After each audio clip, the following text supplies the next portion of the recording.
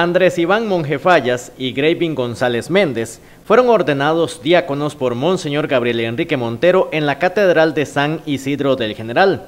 En el caso de Andrés fue por muchos años servidor de la iglesia y cuando estudiaba en el Instituto Tecnológico sintió un llamado que lo llevó a los caminos de Dios.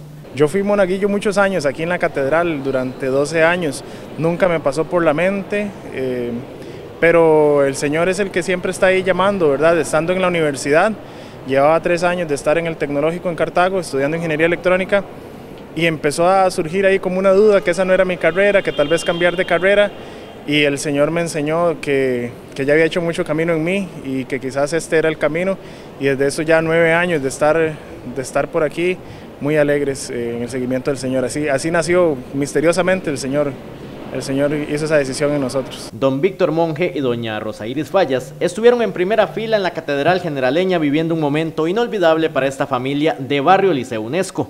¿Se imaginó en algún momento de su vida que, su hijo, porque me contó que estaba en el tecnológico estudiando, aunque había sido monaguillo muchos años, ¿se imaginó en algún momento que llegara, llegara a esta instancia? Mira que yo sí, pero en secreto, porque, o sea, no, no lo compartíamos diciéndolo porque nosotros sí hemos tenido esa, esa partecita de que ellos sean los que elijan cuál es la vocación. Cuando él se fue, a mí me dieron ganas de preguntarle por, qué, estando tan cerca de la iglesia, usted toma esa otra decisión, pero, pero lo dejamos. Y el Señor le dijo, no, le di una oportunidad, pero venga para acá y, ahí, lo tiene ahorita, en este momento ahí lo tiene. Este día es eh, sin duda un día de mucho gozo, una gran alegría, poder, poder entregarle al Señor este hijo que, que nos regaló, ¿verdad? Por gracia de Dios. Eh, realmente estamos, estoy muy contenta por todas las bendiciones que Él nos ha dado en el proceso de, formación que ha tenido. Siempre ha estado con nosotros y entregado a la Virgen María para que nos proteja siempre, nos lo cubra y, sea un instrumento muy útil. También están de fiesta en Río Claro, porque un hijo de este sector de Golfito fue consagrado diácono. Graving González se recuerda cómo desde niño sintió que su camino estaba dentro de la iglesia. Creo que desde niño este, siempre sentí la inquietud este, hacia, hacia la vida de la iglesia, servir en la iglesia. Y después, como fui creciendo, fue desarrollando un poco más la, la vocación, el deseo de servir.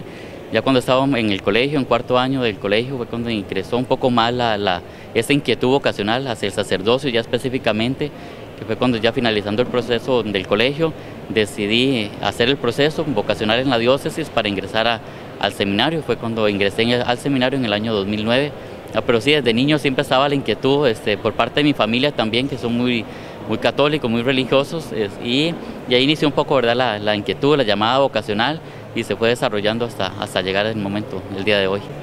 Sí, yo soy de la parroquia de Río Claro, específicamente es un, distrito de, del cantón de Golfito, y soy el cuarto hermano, somos siete hermanos, me crecí únicamente con mi mamá. Mi papá falleció hace 25 años y y sí, me crecí con ellos este, y ahorita estoy eh, sirviendo en la parroquia San Rafael de Platanares también. Doña Nereida Méndez salió desde muy temprano de su casa en Río Claro para acompañar a su hijo en un día muy especial.